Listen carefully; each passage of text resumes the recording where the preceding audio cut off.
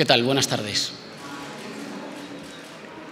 El discurso de Mariano Rajoy ha sido un discurso que no tenía como intención convencer a nadie, tenía como intención que España se resignara.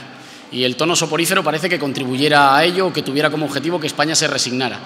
Ha dedicado media hora a explicar a la Cámara que no hay ninguna alternativa a su gobierno. Nosotros pensamos que si creyera de verdad que no hay ninguna alternativa a su gobierno, no dedicaría media hora a amenazar y a chantajear con que no puede haber ninguna alternativa. En segundo lugar, nos parece que tan importante como lo que ha dicho, o seguramente más importante que lo que ha dicho, es lo que no ha dicho. Frente a las 14 horas que la policía estuvo registrando la sede del Partido Popular, el, señor Mariano Rajoy le ha dedicado un minuto y 34 segundos a hablar de la corrupción, básicamente para decirnos que ya están en ello y que no nos preocupemos y por lo que respecta a los problemas de los españoles del día a día, la desigualdad, la precariedad, la pobreza o la falta de oportunidades no han existido en el diagnóstico ni tampoco en las propuestas del señor Mariano Rajoy. En tercer lugar, el señor Mariano Rajoy ha hablado de la soberanía del pueblo español, pero solo para referirse, solo para intentar profundizar en el enfrentamiento a territorios. No se acordó de esa soberanía, esa soberanía del pueblo español cuando tenía que acatar las órdenes de la señora Merkel, no se acordó cuando apoyó el cambio de la Constitución española sin preguntarle al pueblo español.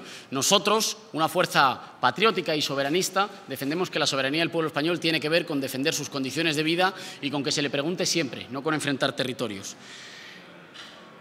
En definitiva, para nosotros estamos hablando la valoración que hacemos desde el grupo de Unidos Podemos en Comú Podem en Marea es un discurso mediocre, de chantaje, que sabe que no va a ser elegido, pero que viene a decir que solo puede ser o Mariano Rajoy o el caos, le dedica demasiado tiempo a decir que no hay alternativa como para que sospechemos que es perfectamente consciente de que hay alternativa y mañana, no podemos, no adelantamos nada, pero mañana eh, Pablo Iglesias expresará cuáles son las razones por las que nosotros, nadie duda que le vamos a decir que no a este proyecto de país, al proyecto de país continuista, al proyecto que le pide a los españoles la resignación y por qué vamos a defender que hay otra alternativa alternativa. ¿Estamos? Vale. Bueno, pues gracias.